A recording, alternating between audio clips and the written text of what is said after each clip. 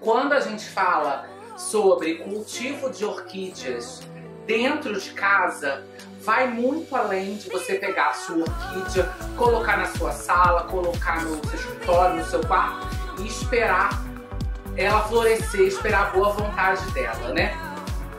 Cultivar orquídeas dentro de casa é possível, dá certo. O que, que precisa fazer para se cultivar orquídeas dentro de casa? É sobre isso que nós vamos falar hoje. O, o, vídeo é sobre isso.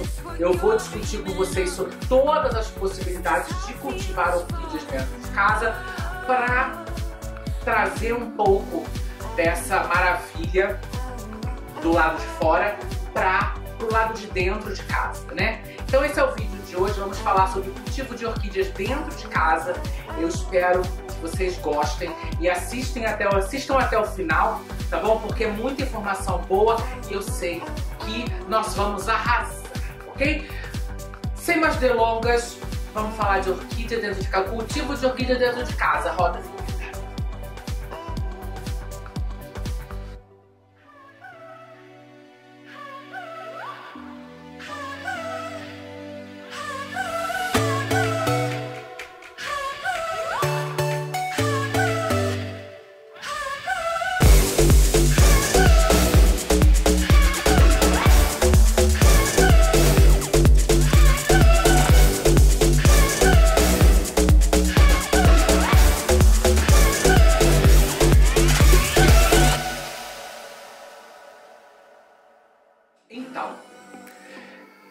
gente começa a aprender sobre o cultivo de orquídeas, a gente aprende, a gente, a, a gente se dá conta, a gente aprende mesmo que uh, as orquídeas precisam de certas coisas para crescerem saudáveis, para ficarem felizes, para se desenvolverem. E quando a gente está uh, pensa uh, em cultivar plantas dentro de casa, quando a gente pensa em cultivar orquídeas dentro de casa, isso não muda, muito pelo contrário, fica até mais gritante do que do lado de fora. Tô aqui para te fazer um convite. Se inscreve no canal, o botão de se inscrever tá aqui embaixo. Clica no botão de se inscrever e ativa o sininho. Por quê? Toda vez que eu fizer uma live, tem lives mensais. Toda vez que eu mandar um vídeo, tá a notificação no seu celular, tá a notificação no seu YouTube. Aí você para um pouquinho e vem passar um tempo junto comigo. Vou te convidar também pro meu Instagram várias fotos ao dia, vários stories ao dia, atualizações que não tem aqui no canal, tem lá no Instagram. Então, ó, arco-íris de orquídeas, arroba arco-íris de orquídeas, tô esperando você lá. Vem fazer parte da família no Instagram, tá bom? E o meu último convite é para você entrar no nosso grupo Arco-Íris Sociedade Orquidófila. Um grupo colorido, um grupo poderosíssimo, maravilhosérrimo, cheio de gente linda e vai também contar com a sua presença. Posta suas flores, posta os seus vídeos. Tá com dúvida, tá com problema? Posta lá também. Vai que a sua dúvida, seu problema não vira um vídeo aqui no canal. Então, ó, se inscreve no canal e ativa o sininho. Me adiciona no Instagram, arroba arco-íris de orquídeas e faça parte do grupo Arco-Íris Sociedade Orquidófila. Todos os links estão aqui embaixo no box de informações para facilitar a sua vida. Conto com você. Um beijo e até mais. Tchau. Por que que isso acontece? Por que que quando a gente vai cultivar orquídeas dentro de casa, é, proporcionar a elas o que elas precisam é ainda mais importante do que quando elas estão do lado de fora, no orquidário ou no, no tempo, né? Gente, uh, vamos pensar nos, uh, nos, nos, lugares do mundo onde não existe o clima tropical ou subtropical, que é onde as orquídeas vivem. Né? As, as orquídeas são plantas de lugares tropicais, de lugares sub, sub, subtropicais, são plantas de calor, são plantas de, de sol. Uh, então, como é que é, lugares no mundo aonde não tem o mesmo clima que o nosso, ou o clima ideal para as orquídeas, conseguem manter as orquídeas vivas, conseguem é, cultivar orquídeas e por aí vai. Porque as pessoas elas se esforçam em criar o ambiente correto para essas plantas. O ambiente correto é aquilo que a gente está cansado de falar e aquilo que a gente está cansado de discutir aqui no YouTube, nos grupos de orquídea e por aí vai. A orquídea precisa de luz, a luz adequada para cada tipo de orquídea, obviamente, mas ainda precisa de luz. A orquídea precisa de rega, a orquídea precisa de ventilação para secar essa rega, a orquídea precisa da temperatura correta durante o dia, ela precisa da temperatura correta durante a noite, e isso varia conforme as estações do ano, porque a variação de temperatura, tanto do dia como à noite, quanto a variação de temperatura durante o ano, durante as estações do ano, é o que uh, é, é, é, é, o gatilho da orquídea crescer, da orquídea brotar, da orquídea uh, enraizar, da orquídea uh, se preparar para florir, da orquídea desenvolver uma, um botão, da orquídea. Tudo isso. Tudo isso é o que a orquídea precisa, né? Não é, como eu disse no começo, pega a planta, bota na sala e entrega para Deus. Não é um, um Masamico Coca-Cola, não sei falar o nome tá aqui na terra. Não é, não é esse tipo de planta, né? Mas uh, o que é que precisa fazer para cultivar a orquídea dentro da sala? Dentro de casa, né? Não somente dentro da sala, mas cultivar orquídeas dentro de casa a gente precisa proporcionar às orquídeas dentro de casa as mesmas coisas que elas teriam do lado de fora de casa ou no cultivo ideal, né? A gente precisa dar a iluminação correta para a orquídea para ela se desenvolver direito para ela poder fazer a fotossíntese e por aí se desenvolver. A gente precisa dar um ambiente fresco, a gente precisa dar um ambiente ventilado, a gente precisa dar ar puro, a gente precisa dar circulação de ar, a gente precisa dar uh, comida para ela, obviamente, né? tá mais dentro de casa, não tem nada uh, para poder, tem que fazer isso, tem, enfim, gente, a gente tem que imitar a maneira como a gente cultiva do lado de fora ou imitar a maneira como elas vivem na natureza dentro de casa, tá bom? Dá para cultivar vanda dentro de casa? Dá para cultivar catleia dentro de casa? Não vou falar para vocês que não dá. Dá para cultivar vanda dentro de casa, dá para cultivar catleia dentro de casa, mas você vai precisar de uma iluminação especialíssima placas de luz especiais para você poder imitar a luz do sol para essa vanda.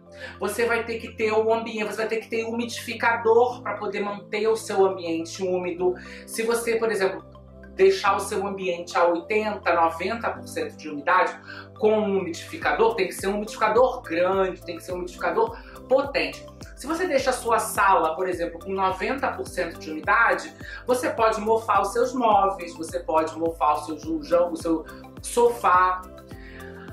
Como é que você vai regar a sua vanda na sala? Você vai ter que pegar a sua vanda, vai ter que levar para o banheiro, vai ter que levar para a área de. para varanda, para a área de serviço, uh, para o box, para poder regar ela. Né? Como é que vai ser? Como é que você vai é, ligar a luz a tal hora da manhã para imitar a hora que o sol nasce? Como é que você vai desligar a luz a tal hora da, da, da noite para fazer o sol se pondo? Sua sala fica de uma temperatura agradável para ela? Se você tem ar-condicionado, como é que você vai cultivar a sua vanda no verão no ar-condicionado? Vai manter ela sempre com a mesma temperatura? Não vai ter que a diferença de temperatura entre o dia e a noite? Então, assim, há possibilidade, há possibilidade de você cultivar vandas e catleias dentro da sala, mas é muito caro, é muito trabalhoso, é muito técnico. É exatamente isso que os jardins botânicos internacionais, que não têm o, o, mesmo clima que o nosso, fazem. Eles têm dinheiro para manter iluminação artificial, eles têm dinheiro para manter. Uh, ventilador para circular o ar dentro da estufa, eles têm dinheiro para manter umidificadores e, e, e, e coisas para manter o ambiente úmido, da, como a, eles têm a capacidade de fazer isso, né? A gente, se você for rico trilhardário, você também pode fazer. Mas tendo luz natural, tendo um ambiente externo, tendo o seu sol através da malha de sombreamento, tendo o seu ambiente correto, não tem para que você querer cultivar Wanda e Cattleya dentro de casa. Porque até a qualidade da floração e a qualidade do desenvolvimento da planta vai ser completamente diferente. Ela vai crescer, ela pode crescer, ela vai se desenvolver, ela, vai, ela florir, ela pode florir. Obviamente com tudo isso que eu disse, né? Com toda essa preparação. Mas é, a qualidade da, do desenvolvimento da planta, da vanda, da catleia, dentro de casa, num ambiente controlado, com tudo isso, vai ser ainda inferior com o desenvolvimento, a floração, a, a, planta não vai ficar tão bonita dentro de casa quanto ela ficaria do lado de fora no ambiente correto.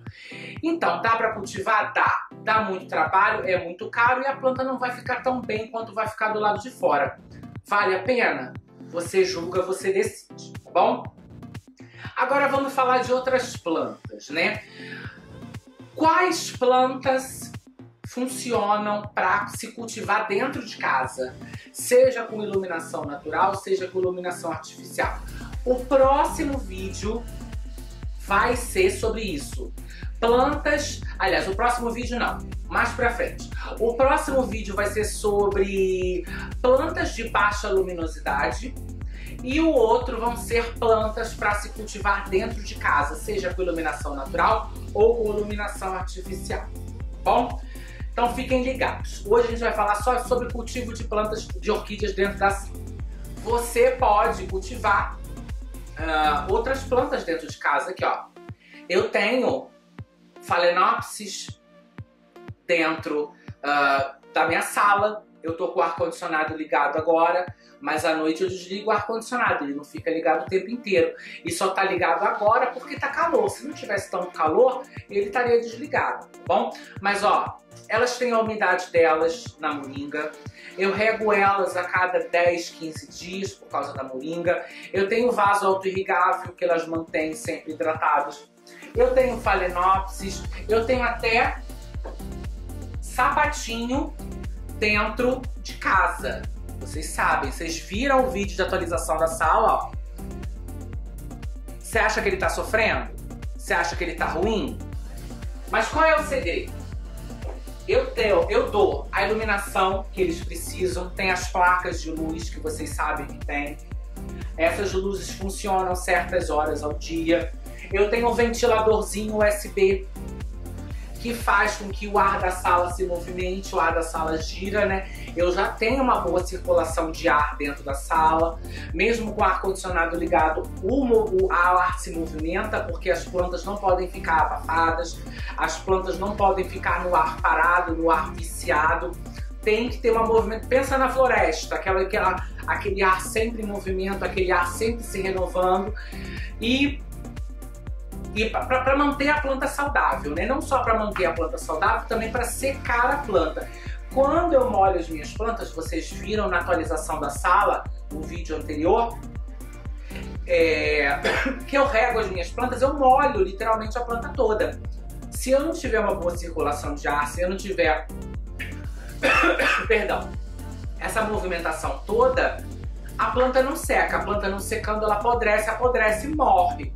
Então, eu dou a luz, eu rego, tem a, tem a umidade, da rega, tem a. Eu adubo as minhas plantas, vocês viram também. Tem a movimentação, tem tudo que elas precisam para se manter. Mas são plantas que têm uma baixa necessidade, não tem uma, uma demanda tão grande quanto uma catleia, quanto uma vanda. Tô falando de, de, de, luz, né, de ambiente, por aí vai, né.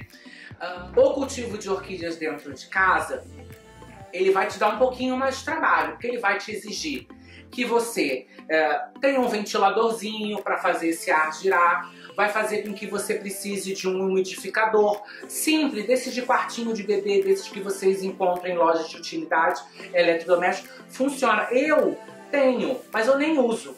Porque a minha umidade no ar-condicionado tá 55. Parece baixa, mas não é, tá? Para essas plantas que tá aqui. Antes de eu ligar o ar-condicionado, estava marcando 67 de umidade. Então, ok, se eu quiser ligar agora o umidificador, vai dar uma ajudada, mas eu não preciso. Daqui a pouco eu vou desligar o ar-condicionado, a umidade vai subir, de noite a umidade fica alta e por aí vai. Mas se você tem problema de umidade, use o umidificador, use o ventilador para fazer o ar circular, não deixa a sua planta em lugar abafado, não bota a sua planta em banheiro, não deixa a sua planta no vapor do banheiro. Tem que pensa no seu orquidário do lado de fora. O que que você faz para as suas plantas ficarem saudáveis e bonitas no seu orquidário externo? Você pode imitar isso dentro da sua casa? Você pode dar a luz, seja natural ou seja artificial? Se você pode, show. Você as regras, você tem como regar suas plantas, molhar suas plantas na cozinha, na área de serviço, sem te dar trabalho? Show, pode. Você pode manter seu ambiente sempre ventilado, um ventilador rodando, um, um, o ar se movimentando? Show. Você pode, a umidade, precisa de umidade? Usa um umidificador e por aí vai. Se você consegue imitar as necessidades da planta que você faz do lado de fora para o lado de dentro, vai dar certo. Mas sempre lembrando, tem que suprir o que a planta precisa. Você não pode botar a planta na sala, botar a planta no escritório, botar a planta no quarto e esperar que ela se resolva. Da mesma maneira como não vai dar certo do lado de fora, não vai dar certo do lado de dentro. Gente, é possível, tá bom? É só a gente ter calma, respirar, parar pra pensar que vai dar certo. Vídeo de hoje está feito. Existe a possibilidade da gente cultivar plantas orquídeas dentro de casa? Sim. Não todas, as de alta luminosidade você esquece, tá bom? Mas as intermediárias e as frias você consegue, desde que você imite o ambiente delas que você faria do lado de fora, do lado de dentro. E aí você vai ter sucesso. Próximo vídeo, orquídeas, uh, orquídeas frias, tá bom? Orquídeas frias. E iluminação também. Iluminação e orquídeas frias. Orquídeas de baixa luminosidade, não orquídeas frias. Orquídeas de baixa luminosidade. Vamos falar de iluminação, luz, direção do sol, uh, norte, sul, leste, oeste e orquídeas de baixa luminosidade. Tá bom? Esse é o próximo assunto, na sexta-feira. Na próxima terça-feira, daqui a uma semana, a gente vai falar sobre uh, orquídeas de uh, para cultivar dentro de casa, tá bom? Orquídeas para cultivar dentro de casa, seja na luz natural ou na luz artificial. Tô fazendo essa sériezinha para vocês, para vocês ficarem felizes, tá bom? Todas as informações possíveis. Pessoal, se inscreve aqui no canal, tá bom? O botão de se inscrever tá aqui embaixo. Clica no botão de se inscrever, ativa o sininho para receber as notificações. Toda vez que eu mandar um vídeo, fizer uma live, tá a notificação no seu celular, no seu YouTube. Também tem notificação no Instagram, sabia? Arroba arco-íris de orquídeas, arco-íris de orquídeas, várias fotos ao dia, vários stories ao dia, atualizações que não tem aqui no nosso canal, tem lá no Instagram. Ah, me adiciona no Instagram, quero ver você lá, ativa as notificações do Instagram também. Toda vez que eu fizer alguma coisa lá, a gente passa um tempinho juntos. Like no vídeo. Sabe por que é importante dar like no vídeo? O YouTube entende que o vídeo é legal, vai mostrar mais vezes no meu canal para você e vai mostrar também para outras pessoas. Então dá like no vídeo, compartilhe o vídeo com seus amigos, vou adorar receber eles aqui no canal, vou adorar receber seus amigos no Instagram. E é isso, povo. Obrigado por assistir. Espero que tenha sido útil para vocês. E meu nome é Maicon Areias e esse é o Arco-Íris de Orquídea.